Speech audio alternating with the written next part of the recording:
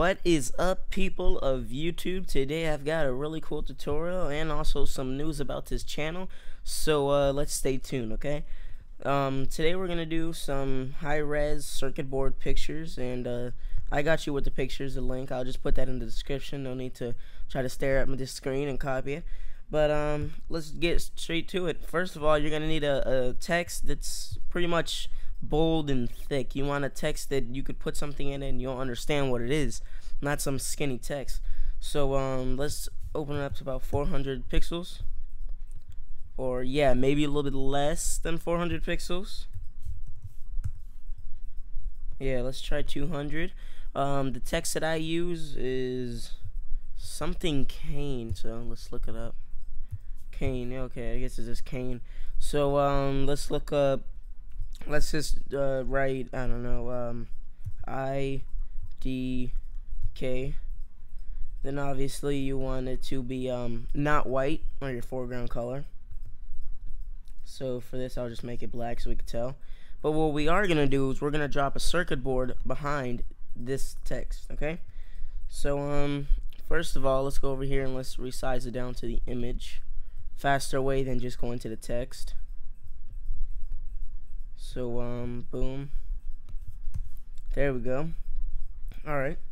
So, um, let's rasterize type. Boom. Right click on the, the, the picture, not IDK part, because that's just going to give you different settings. Right click on it, select pixels. Alright. Press your shortcut W or go to um, your quick selection. Let's tone this down a little bit right click on a Mac. I don't know. I, I, on my Mac it's two fingers, so just do that. And um, let's see. Hmm. Let's go to select inverse. And what we're gonna do is we're gonna put our circuit board now. So, file, place.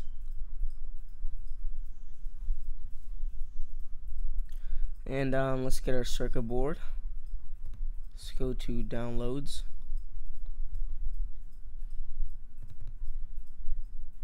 And boom. We have our circuit board place. Let's make it big enough so it'll obviously fit the text.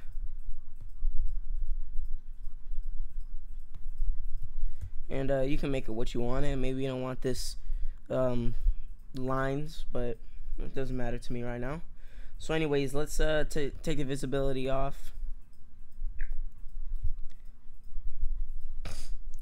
Okay, you could be slow too, computer. It's cool. Alright, so um, first of all, rasterize layer. You don't want to be one of those smart layers. Alright, now you can take the uh, visibility off. Go back over here and do what you just did. Sorry. Select pixels. Make sure on your magic wand tool, right click, select the inverse. Now um, let's go make this visible again. And you're going to see it's uh, obviously like type And of course, if we're on the right layer, this will work. But if not, I don't see it happening. And boom. But that's not the end of the tutorial, though. Haha. Alright, so we got that. Let's get our brush tool. And um, maybe you can't see from here, but it's pretty obvious.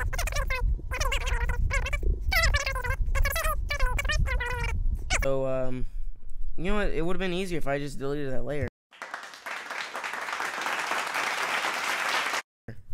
Wow. Anyways, so let's go back to our text, right? So we want to look like the text is actually going inside the white. So you want to do is double click on it. And it's going to give us all these uh, styles and blending options, okay? So uh, let's go to inner shadow. Press it. Uh, let's take it back to 90 around there. There you go. Now you just gotta mess with the distance to whatever you like. I mean, I guess 13 isn't bad. Let's set it to 11. Uh, the choke to 6 and uh, the size 32. Now it looks like it's in there a little bit more. And I mean, you can mess with the contour to see what you like. I mean, you could do that. That doesn't look too well. That, eh, nah. eh, eh, eh, ew, ew. Mm. All right, so I think we could all decide that we have that there, and um, basically that's it. It's so easy, but I mean, it gives you a cool effect to your text. Um, reason why I showed you this because I'm actually in a contest, but uh, it's probably gonna end soon, anyways. But um, well, really should have got this ready before I made this video. Anyways, I made a contest and um, I made a shirt design. It was pretty much this, and a lot of people said it was pretty cool, so decided to do it. Um, see if it's on the desktop still. No, it is not. So um, well, anyways, I guess this concludes the tutorial. Anyways, the news I was gonna tell you was that um, stay tuned. I'm gonna have a lot of new videos coming up. I want to make a, a strong channel. I want to hit a thousand subscribers, but uh, let's see how that goes. Um, a lot of people on YouTube having fun with those partnerships and stuff, so uh, I want to join the fun with some Photoshop because that's probably the best thing I'm good at. So um, if you are a subscriber to this channel, just stay tuned. You're gonna have a lot of cool tutorials coming up, and um, thanks. Please hang up and try again. Hey, remember you can follow me on Twitter too. It's um, at JasonTooInspire. I'll play it on the screen, and uh, thanks for watching.